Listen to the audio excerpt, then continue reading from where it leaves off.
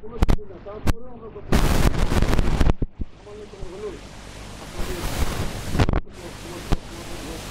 আমরা চাই আমরা সকলকে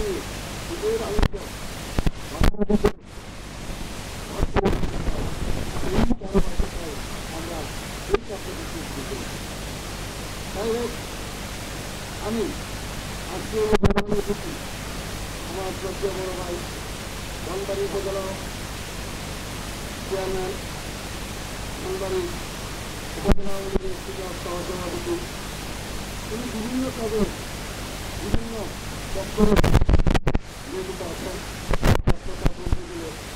ধনবাড়ি উপজেলা।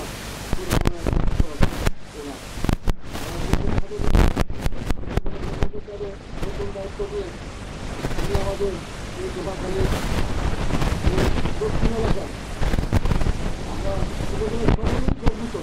আমরা আমাদের জোপাখালীর বিভিন্ন পক্ষ